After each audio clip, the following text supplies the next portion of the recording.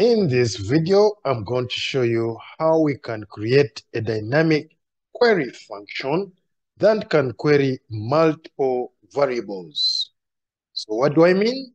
I have a data set here which has seller distribution section category subcategory classification sales amount and date. Now I want to filter this function onto this sheet here. For example, now I'm filtering based on distributor.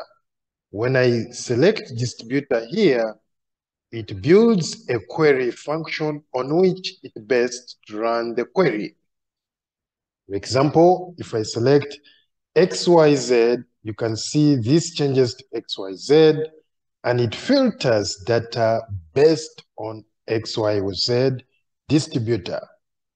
So if I go back to ABC distributor, select a section, maybe electronics, then it displays all electronics. When I remove electronics, it brings all the sections. And if I want garden and home, I can select garden and home like so. So this is what we're going to be doing. So it is very dynamic. You can select the electronics here, then you it builds it here, then you select the category. For example, we have audio here, then you select audio, it brings audio alone. Of course, we have the subcategory, uh, which is headphones, and so on. Now, if I select a category that is not in my data set, I'm going to return nothing like you see here. A category of sofas cannot fall under audio, electronics, and ABC distribution. So it returns nothing right there. This is what we are going to be building, and I'm going to take you step by step on how we can achieve this. So right now, to get started, it is the same data. And on this sheet, I'm running a query and I'm referring my query to B6, which is an empty space. And by default, it returns all the data. So my query refers to this G6. Now in G6, in B6, sorry, I'm gonna build my query and I'm going to say select all where my distributor in column B, if I go to my data set, under column B, we have distributor. So I say where the distributor, which is B, is equal to, in quotes, I'm going to refer to cell B3, B3, so it's because ABC distributor is selected here, so whatever is going to be returned is for AB distributor. Next, I want now to go to category. If I select category right now, it's not connected, so you can see it is not returning electronics as the second here. So to do that, I'm going to say, build my query function on here and to concatenate, I use the AND. Now, when I think about what I'm going, I want to do is I want if if this section is not selected, in other words, if C3, I type C3 is equal to nothing, return nothing. So my query will not pick this. Okay, and if it is as a value, then in my quotes, I'm going to use and, I'm going to add in the and, and say section, which is C, column C, section under my data, if you go to data, this one here should equal to should equal to in quotes, double quotes, and percent should equal to whatever is under C3.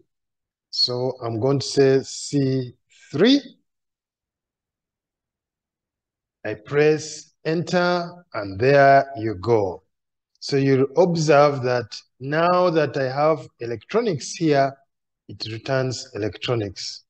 If I select home and garden, it returns home and garden. If I remove A, it returns everything that relates to the distributor.